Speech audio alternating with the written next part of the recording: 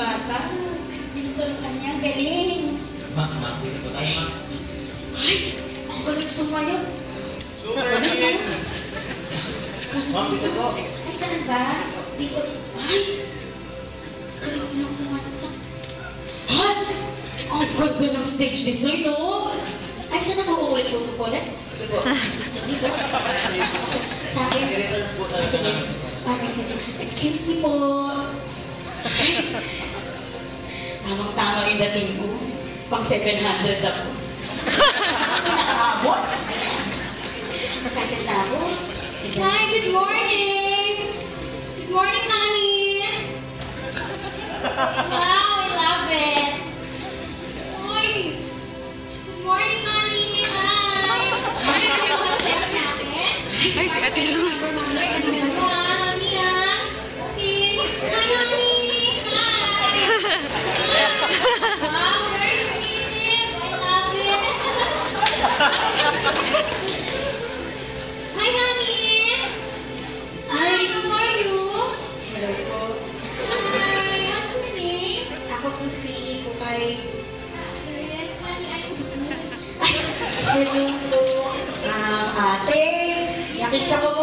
po kayo sa labas. Marami pong ah, mga story. Marami pong mga tao. Tsaka nakita ko po yung mga nagsaserve. Magaling po nila. Oo naman, honey. Ate, ano bang meron dito? Ay, honey! Guys! It's volunteer weekend! Ate, alam ko yan eh. Yan ba yung ano, yung every year, tapos nagsasign up sa Yes, honey. Kaya po pala maraming tao. Kaya ko talaga kasi. Kaya, Yes, honey. Nakapag-join ka na ba ng ministry?